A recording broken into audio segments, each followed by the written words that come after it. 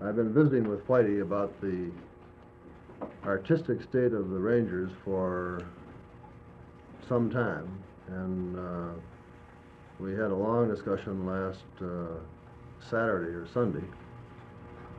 And I've concluded uh, over the weekend, in the last two or three days, that I would ask him for his resignation. And I did ask him, uh, or in effect tell him that he would not manage the Rangers any longer. I think in asking for his resignation today that I've had to admit that I made a mistake a year ago when I asked him to manage.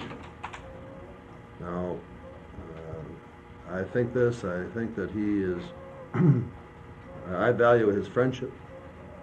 I am honoring his contract. And I am unhappy that I've had to take this course of action, but as the greatest president that I've known said, if you can't stand the heat, you might as well get out of the kitchen. And since I haven't been able to find the door, uh, I've come to the conclusion this evening that uh, the action that I'm taking is the best one that I can take. I kind of figured last Saturday it was coming, and uh, realized Monday in Chicago I didn't I didn't manage that ball game too well, and there was a lot of things on my mind. Joe leaving, and our conversation with Bob on Saturday, and uh, kind of figured it was uh, it was coming. In fact, today when I called, I I told uh, Hiller I said I'm probably going to get fired.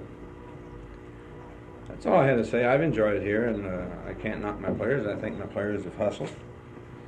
Uh, I think everybody's tried. Uh, when you're 35 games out of first place, uh, you're going to get fired. You're going to get criticized, and the players really don't have any incentive anymore. I mean, when it gets that far, I don't think anybody here that's covered our ball club can say that my players haven't hustled all year, up till maybe the last week or so.